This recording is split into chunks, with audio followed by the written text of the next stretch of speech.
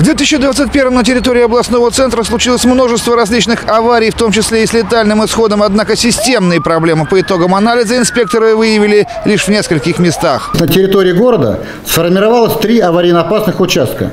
Это у нас улица Карачевское шоссе 74. Это перекресток улицы Металлургов и улицы Раздольная.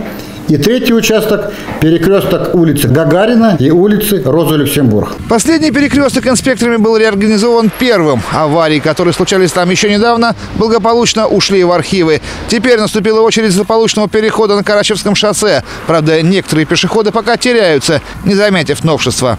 Женщина, кнопочку нужно нажать. Кнопочку. Здесь установлен светофорный объект с кнопкой вызова, чтобы пешеходы могли беспрепятственно переходить через проезжую часть автомобильной дороги. Также установлены светофорные объекты. Первая Курская, Ливенская, северный подъезд к городу Орлу.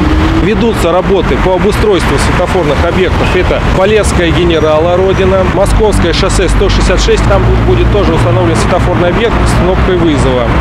А, ведутся работы на Михалицына, Артельных, Максима Горького, Андрианова, Лескова, Тургенева. Преобразовать перекресток у площади Жукова сотрудники ГорГАИ мечтали давно. Первым делом дорожники перенесли переход ближе к перекрестку, закрасив старую зебру.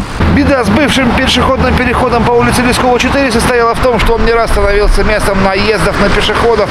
Причем в числе пострадавших было немало ребятишек, спешащих в 24-ю школу. Однако местные жители по-прежнему идут здесь через дорогу уже в нарушение правил и с риском для себя. А новый переход и пешеходы, и автомобилисты осваивают с трудом. Удобнее здесь переходить, чем там вот было на Лескова 4. Там, конечно, удобно, тут приходится так.